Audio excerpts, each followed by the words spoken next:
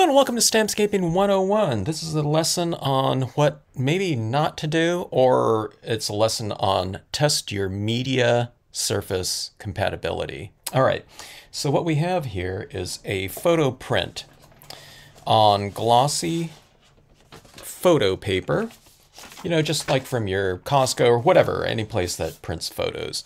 And it's probably the same type of paper that you'd use at home for your inkjet printer. Okay, so what I did on this one right here, this is a past lesson. I don't remember what number it is, but it's from a few years ago. I didn't know that I kept this piece, but I did. And one of the things that I noticed, I don't know, probably about two weeks after I had done the, the lesson, um, the ink had kept moving on me. It kept uh, kind of blurring out. In other words, it never dried, okay?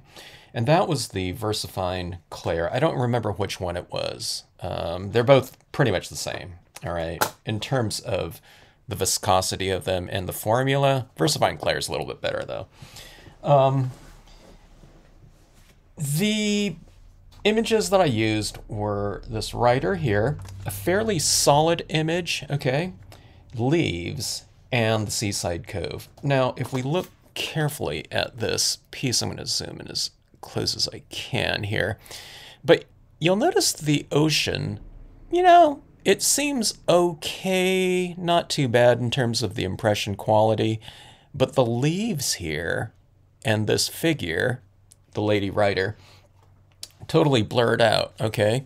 Because these two stamps are much more solid in nature. This one, I mean, there's not a huge amount of area to it in terms of um, one large spot, but the leaves are solid. Okay, so it'd be like, I don't know, kind of like beads of ink sitting on the surface, where this one right here would have these little micro dots um, in terms of a ink buildup on those. So if those ones blur out a little bit, let's say 50%, it's still noticeable, but not so much as something that's, I don't know, like an eighth of an inch or even like a half inch or inch wide here, but a half inch tall in terms of a solid impression of built up ink.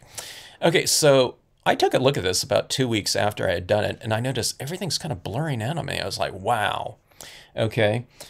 Emul this emulsion coating is meant for water-based ink all right, so for example, your inkjet printer inks are water-based. The pigment inks of like the Clair's, I would imagine the ColorBox, Clear Snap type of um, inks, they're they're oil-based inks, okay? So it just sat on the surface and it didn't penetrate that water-based um, designed uh, surface here, the paper, okay, that emulsion paper on there. So it blurred out after two weeks, but then I don't know. I, I have no idea how long this ink kept um, moving, but I would guess that it kept moving for, I don't know, could be months or something like that because this looks completely different. It's almost, you know, unrecognizable in terms of the leaves here. Okay. I mean, the figure here, you can tell that's, uh, you know, someone on horseback, but you can just tell the figure there is completely blurred out like that. So just test your media compatibility um, if you're ever curious about things.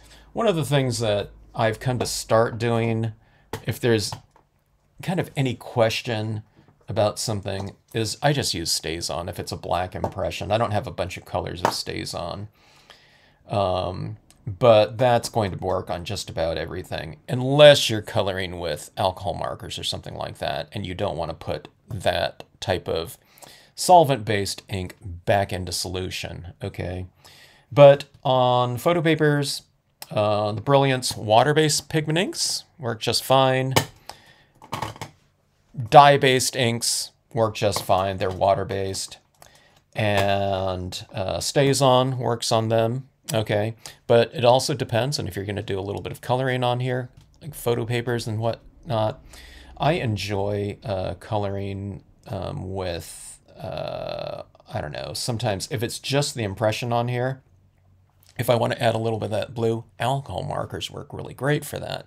So instead of using something like a solvent-based StazOn, which will go back in solution when you dissolve it with alcohol, your water-based dye ink on there so that when you color it with alcohol, alcohol and water don't mix. So um, it applies there um, very easily. I've been doing other things like applying some brilliance down, stamping over it and coloring coloring pencils, stuff like that.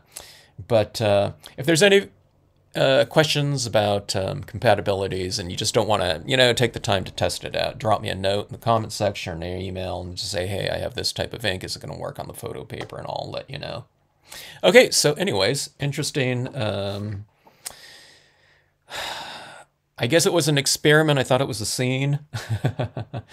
but I, I, don't know. Maybe I'll keep this one. Uh, like I said, I, I thought I tossed it out you when I've talked about um, compatibilities before when people have asked me. So I don't know. Maybe I'll just keep it as a reference.